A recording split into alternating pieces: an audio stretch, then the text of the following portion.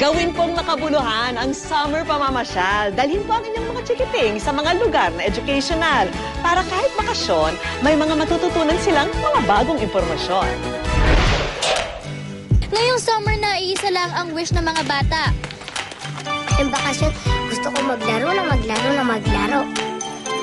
Pero sa totoo lang, marami pa silang pwedeng pagkaabalahan bukod sa paglalaro. Sana po ngayong isang makapasyal po ako, makakita po alaman at hayop. Ngayon po, ta- tapos na po yung pasukan. Gusto ko po sanang tuloy-tuloy pa rin po yung activities ko. Tumigil man ang pasukan, pwede pa rin magtuloy-tuloy ang daloy ng kaalaman. Handa na ba kayo mga kids? Welcome to the Center for Peace and Care for the Earth Ministry o PACHEM Eco Park. Papalapit tayo sa Panginoon sapagkat ito ang kanyang isa sa mga uh, Handog ng paraisong ito na matatagpuan sa Sumulong Highway sa Antipolo ang masayang nature tripping for the whole family. Ang mga hayop nito ay loaned o pinahiram ng PAUB o DNR dito sa aming eskwelahan para alagaang mabuti.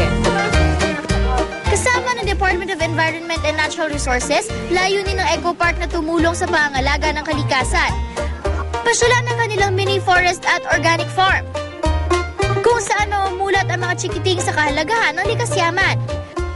Pwede nilang subukang magtanim ng halaman Yes, ayos! at mag-alaga ng sari-saring hayop gaya ng mga kalapati at naglalakihang rabbits. Ang yung mga bata na pumupunta dito ay natututo sila sa pag ah, sa pagmamahal ng ah, God's creation. Paano natin mapapangalagaan ito? Mga bata ay ah, syempre hindi yun nandun ka lang nakakulong sa bahay. Mamasyal kayo. Ah, lalabas sila rito na merong ikikwento sapagkat they take part. It's more educational.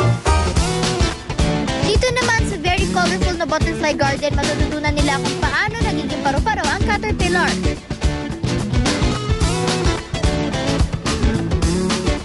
Natuwa naman po ako. Kasi po, ang dami ko po nakitang hayop. Dati po kasi, umaakit pa po kaming bubong pa- para po makita namin dito.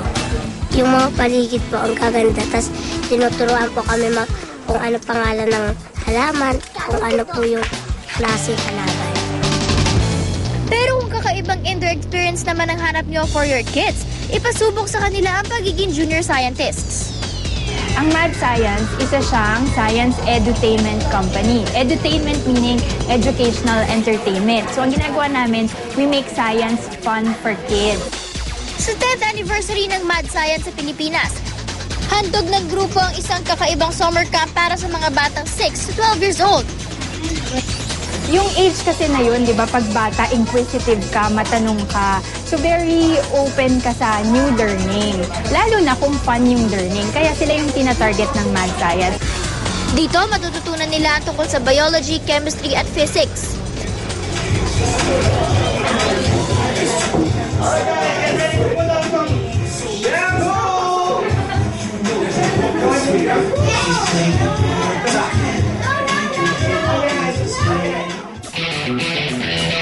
Sa tulong ng games, gadgets at fun experiments. You guys, tell me what color do you want? Well, I want red. You want red? Take some more. Kaya naman si Mommy Nikki hindi nagdalawang isip sa pag-enroll sa anak na si Yuan. Bilang magulang, gusto din natin yung mga kids natin nagpapatuloy pa rin mag-aral kahit wala sila sa classroom, di ba? So, yung mga activities na ganito, mga scientific experiments, uh, they're very fun, but at the same time, they're very educational. Si Ashley, kitang-kita din ang pagiging mad sa science. Na-enjoy ko po ang math science dahil po may mga experience kami sa school po kasi wala pong experience, upo lang po ng upo. Mas maganda po pag na-experience mo na ang mga science.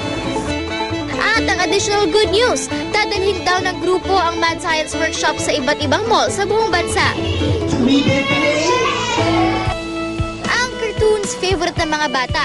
Pero ngayong summer, hindi lang nila to mapapanood. Pwede na rin nila tong gawin.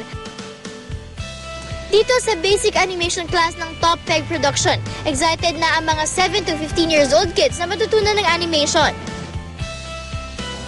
Nung bata pa lang ako, na-amaze na po ako dun sa mga cartoon na napapanood ko tulad ng mga anime and stuff like that.